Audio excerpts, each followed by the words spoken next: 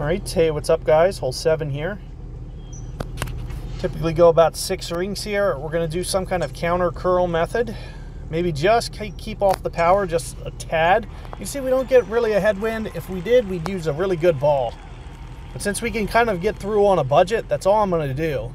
You know, for all the tournaments where I can get through on a budget, it just lets me accumulate those balls. Now, granted, if I screw up a shot, you're better off not screwing up a shot and using a better ball. So that's usually what you want to use as your decision making. But here you see we're still within max. When I come at this like this, it usually breaks a little left. So with it breaking left, you can see how we're, we're going to do with our alignment here.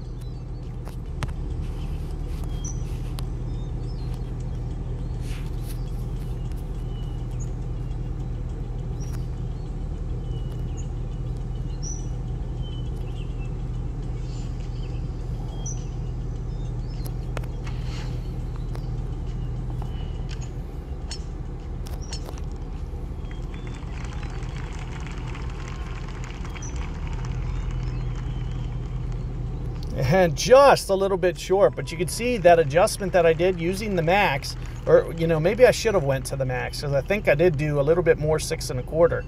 But you can see that I just put a fraction too much backspin. So when you do get the max club keep in mind it's going to land a little softer might not roll out. Plus I had maybe just a slight headwind just the slightest of a headwind and that factored in on it rolling out. So keep that in mind um, you know, and hopefully you can get that one to drop with just a little bit more precision and, you know, mastering that technique. So good luck. I'll see you guys on the next